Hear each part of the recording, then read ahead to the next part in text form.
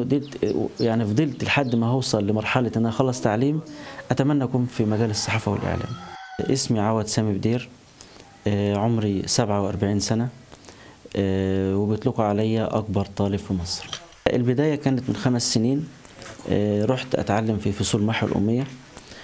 وطبعا الموضوع كان يعني ما كانش في دماغي التعليم لكن لما رحت واستلمت شهادة محو الأمية فرحت بها جدا. من المواقف اللي ادتني دفعة يعني ضايقتني وادتني دفعة في نفس الوقت.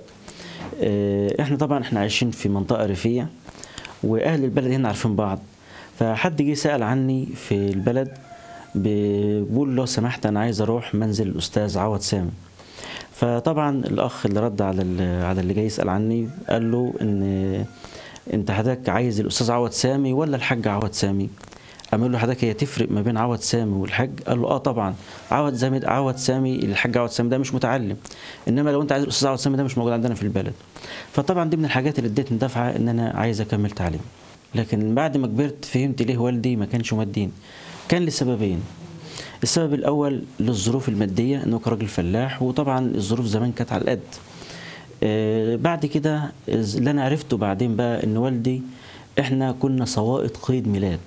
كان في حرمان كنت حاسس بحرمان جامد من التعليم ومش هكدب عليك فعلا فضل الإحساس ده عندي لحد ما مات. كنت بروح للي هم الأطفال اللي هم جيراني اللي أكبر مني في السن آه، هم كانوا في مراحل إعدادية يعني كانوا أكبر مني.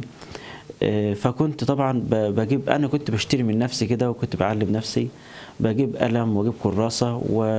وأكتب زي ما بيكتبوا أروح ألاقي الأطفال اللي بياخدوا دروس أو بيذاكروا أذاكر معاهم مع إن أنا ما كنتش اخد شهادة ولكن الشهادة اللي أنا خدتها هو إن أنا اتعلمت القراءة والكتابة بمهارة الحمد لله طبعا آه، في الفترة طبعا اللي أنا ما دخلتش فيها المدارس آه، ظروف والدي ما كانتش تسمح وبدل ما يدخلني المدارس آه، دخلني أتعلم الحلاقه والحمد لله. يمكن هي المرحلة اللي أنا فيها دلوقتي مرحلة بسيطة ولكن أنا حاسس إن أنا بحضر دكتوراه. في في البداية لما أنا فكرت في مجال إن أنا أتعلم وكده أنا عرضت الفكرة على زوجتي.